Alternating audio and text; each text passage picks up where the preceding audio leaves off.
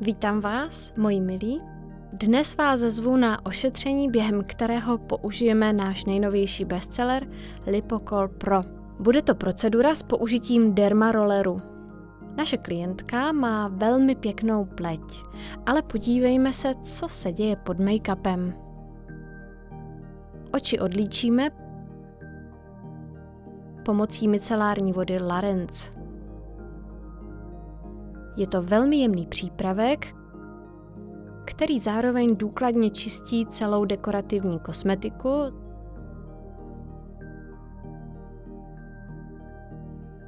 zejména řasenky, které se smívají jen velmi obtížně.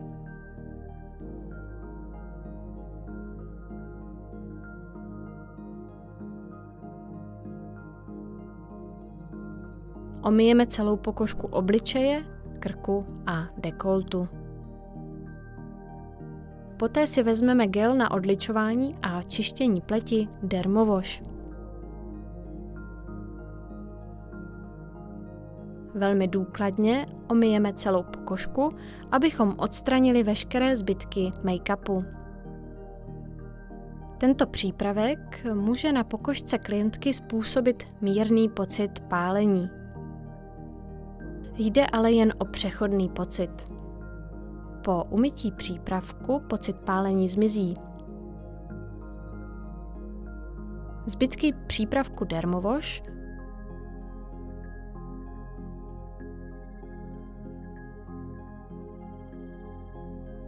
důkladně omijeme vlhkým kosmetickým ubrouskem.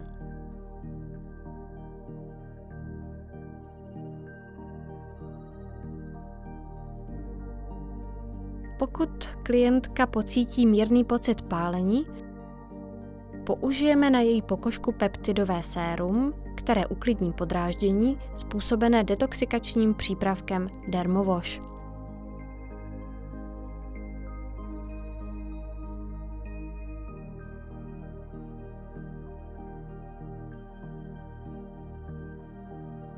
Abychom podráždění zmírnili důkladně, použijeme jednu dávku čistícího mléka, kterým vyrovnáme pH pokožky. A velmi jemně je vmasírujeme. Přitom se seznámíme s pokožkou a s tím, co potřebuje.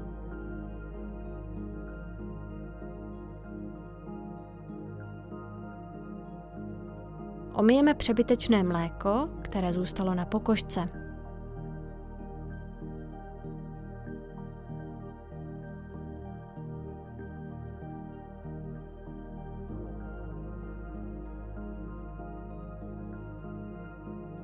Teď můžeme pleť tonizovat a připravit ji na aplikaci přípravku zvyšujícího propustnost pokožky. Ke zvýšení propustnosti můžeme použít tři různé přípravky. Prvním z nich je AHA Peeling, který má poměrně intenzivní účinek. Obsahuje kyselinu glykolovou, jablečnou, mléčnou a salicylovou. Nejčastěji používanou na problematickou pleť pleť z akné a mastnou pleť.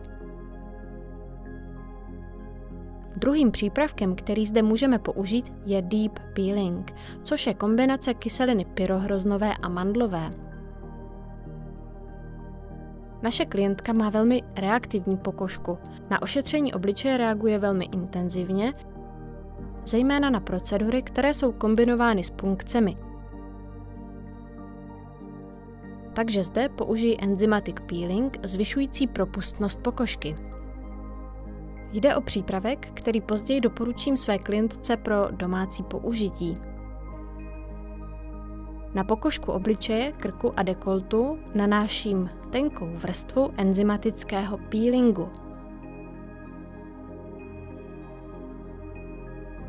Ponechám jej pár minut působit,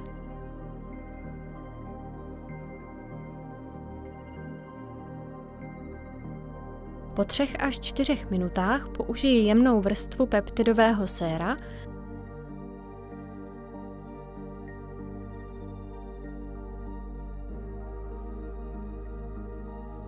a udělám masáž enzymatickým peelingem.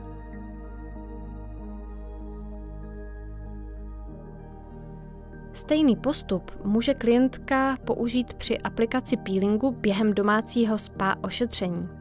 Doma nanese na pokožku tenkou vrstvu enzymatického peelingu, ponechá ho působit asi 10 minut a poté si ruce a obličej navlhčí běžně dostupným peptidovým sérem a masíruje pokožku. Tím odstraní exfoliované zbytky pokožky a pokožka se stane hladší a rovnoměrnější.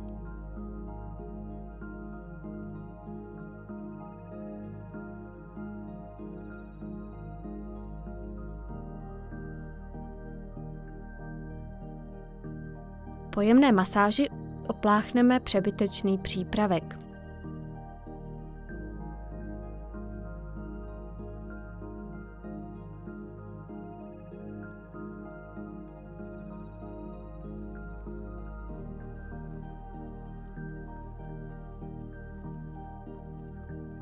Takto připravenou pokožku můžeme ošetřit velmi jemnými jehlami dermarolleru.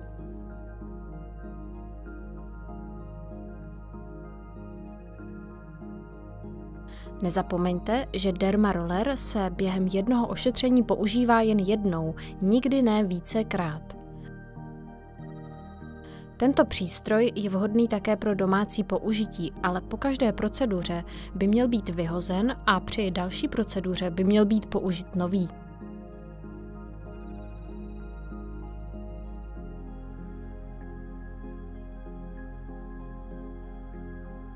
Procedura je zcela bezbolestná.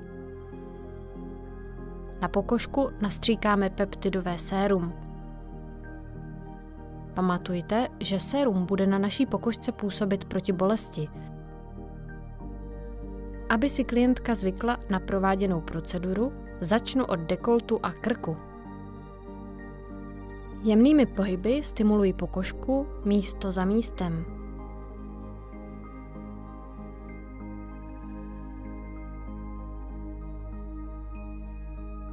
Celou dobu sleduji, zda pokožka příliš nesčervená, jestli nedochází k tak hlubokému propíchnutí, že by došlo k vytečení krve a lymfy. Není třeba pokožku stimulovat silně.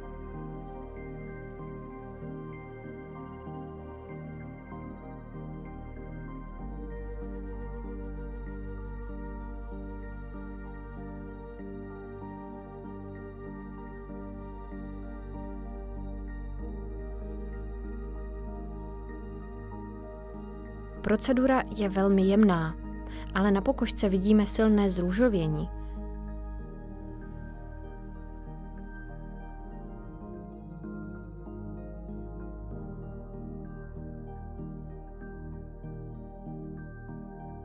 Klientka může zaznamenat mírný pocit pálení.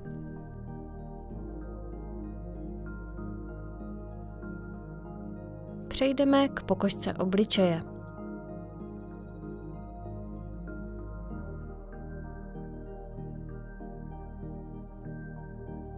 Provedu pouze jednotlivé vpichy. Ošetření nebudu opakovat. Opakovat je můžu u druhé nebo třetí procedury. Jak vidíte, klientka reaguje poměrně intenzivně. Kůže pod rolerem zrůžověla.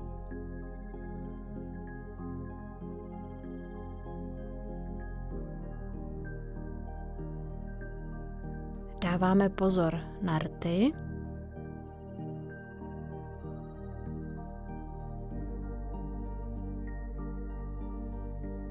Dermarollerem můžeme pracovat i v blízkosti očí.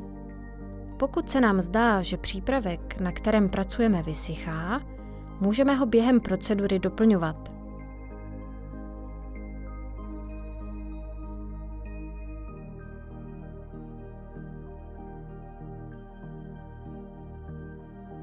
Na čele nemáme moc podkožního tuku, takže aplikace může být trochu nepříjemná. cítím, jak klientka napíná čelo.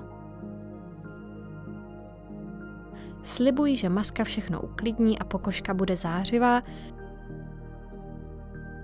pevně napnutá a spevněná.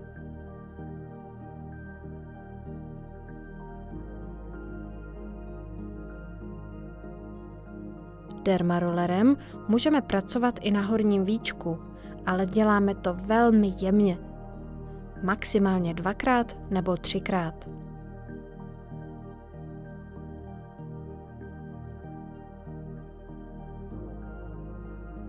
S každým dalším ošetřením můžeme zvýšit počet vpichů a použít jiné přípravky.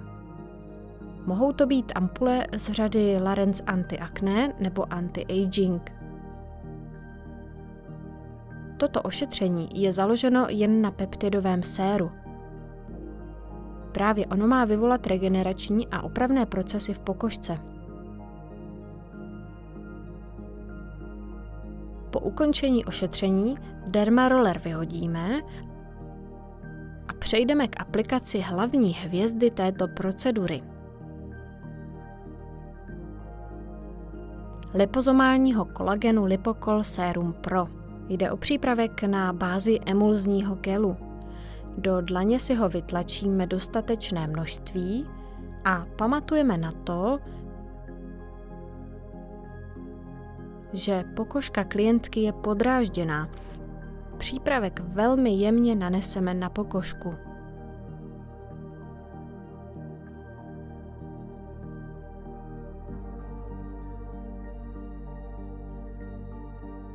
Tento přípravek obsahuje rybí kolagenové peptidy zapouzdřené v lipozomech.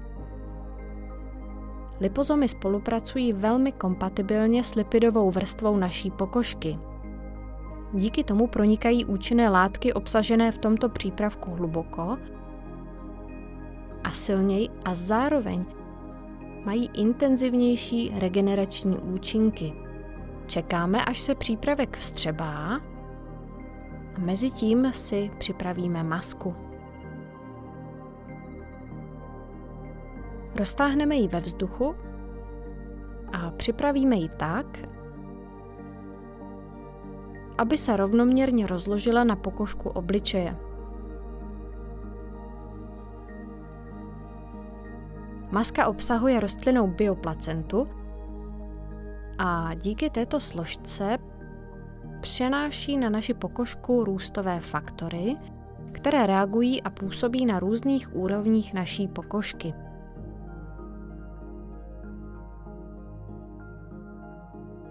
Utěsněním cév zajistí, že je pokožka dobře okysličená,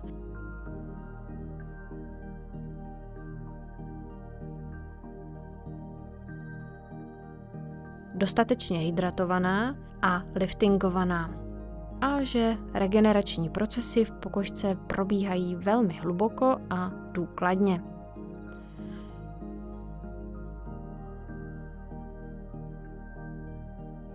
Prosím, zavřete oči Impregnace v masce Pro je ve formě gelu.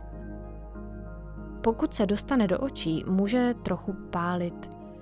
Nechtěla bych, aby moje klientka měla nějaké nepříjemné pocity. Maska Pro může mírně zahřát pokožku a vyvolat pocit pálení. Jde o přirozené působení této masky. Klientka se ale nemusí bát, protože přibližně po deseti minutách tento účinek zmizí a začne proces sklidnění pokožky. Maskou bychom měli přikrýt také krk a dekolt.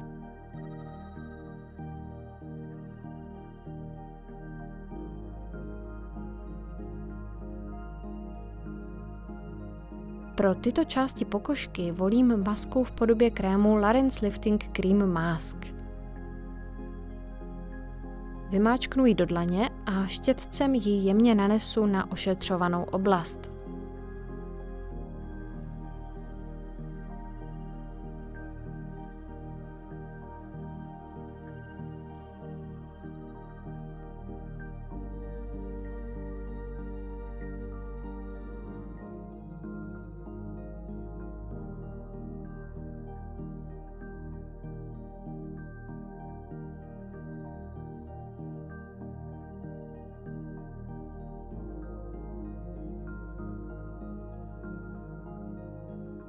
Klientka by měla s oběma maskami ležet alespoň 20 minut, protože všechny účinné látky obsažené v látkové i krémové masce musí mít čas proniknout do hlubokých vrstev pokožky a zahájit tam regenerační procesy.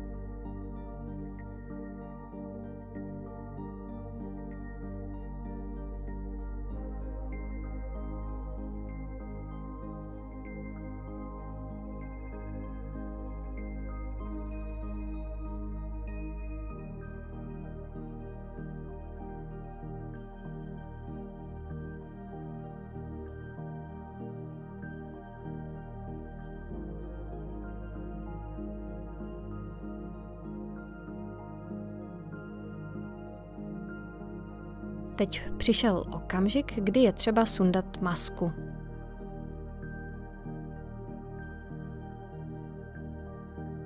Rozdíl na pokožce obličeje je patrný na první pohled. Pleť je mnohem hladší, jemnější, není tak růžová a červená jako krk a dekolt. Látková maska obsahující růstové faktory má právě takovýto účinek – okamžité hojení a regenerace pokožky.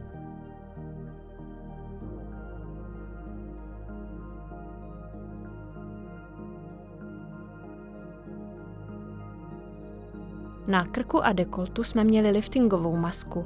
Její přebytek jemně omijeme vlhkým kosmetickým ubrouskem.